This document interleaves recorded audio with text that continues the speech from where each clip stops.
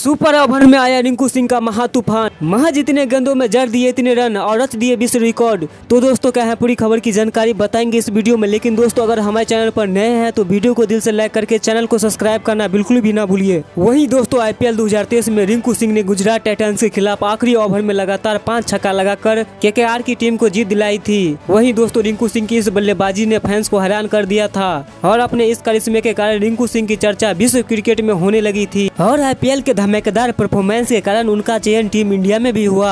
वहीं दूसरी ओर एक बार फिर रिंकू सिंह ने ऐसा किया, जिसे देखकर पूरी दुनिया हैरान रह गए। दरअसल यूपी टी ट्वेंटी लीग में रिंकू सिंह ने एक बार फिर अपने बल्लेबाजी से कहर मचा दिए। वहीं दोस्तों बता दें कि यूपी टी ट्वेंटी लीग में रिंकू सिंह मेरठ मैब्रिक्स की टीम की ओर से खेल रहे हैं। ऐसे में टूर्नामेंट के तीसरे मैच में काशी रुद्राक्ष के खिलाफ रिंकू सिंह ने तहलका मचा दिया। दरअसल सुपर ओवर में मेरठ की टीम के सामने काशी की टीम ने सत्रह रनों का लक्ष्य रखा था। ऐसे में रिंकू सिंह सुपर ओवर में बल्लेबाजी करने आए और करिश्मा कर दिखाया। वही दोस्तों, हुआ यह कि सुपर ओवर में खेलते हुए पहली गेंदों पर रिंकू सिंह रंग नहीं बना पाए। लेकिन इसके बाद तीन गेंदों पर लगातार तीन छक्के लगाकर अपनी टीम को जीत दिला दी। और रिंकू सिंह ने ऐसा कमाल कर एक बार फिर फैंस को रोमांच कर सागर में गोती लगाने का मौका दिया। जबकि फैंस ने रिंकू सिंह के इस कारनामों को देखकर एक बार फिर उनके आईपीएल में किए गए चमत्कार को याद करते हुए सोशल मीडिया पर अपनी बातें को लिखी। वहीं दोस्तों, रिंकू सिंह ने चार गेंदों पर अठारह रन बनाकर अपनी टीम को जीत दिला दी। और सोशल मीडिया पर केकेआर ने इस वीडियो को शेयर भी किया, जिसे फैंस खूब पसंद कर रहे हैं। वहीं दोस्तों, मैच की बात करें तो मेरठ मैब्रिक्स ने 20 ओवर में चार विकेट के नुकसान पर एक